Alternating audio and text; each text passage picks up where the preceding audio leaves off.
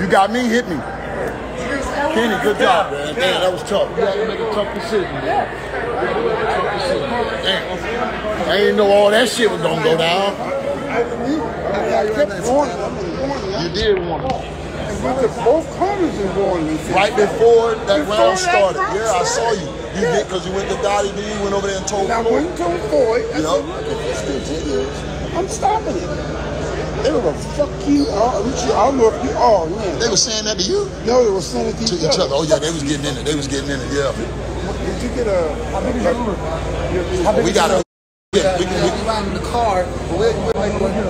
We'll, we'll what happened? Because the What you Uber were will take forever to come in here. You we trying to. No, back then it was for profanity, and then when I was asking him to break, I told him in the dress. I told him in the dressing room. There ain't no judges. I can't take points. No, I know. So if you can't can't obey my shit get out of control to that point. exactly, Right, right. Exactly. But for me, I thought security was right. It was no security. Big security wasn't doing nothing. yeah, because when I stopped it, when I stopped It took how, how long it took to get the fight started because everybody was over in the corner. that was the first thing. Yes, but Floyd and, and, and John, they continued to want to fight. So this was real. This was like real beef. Oh, like yeah. they had a real nasty attitude toward Yeah, each other. yeah. They should have made it again. Not exhibition.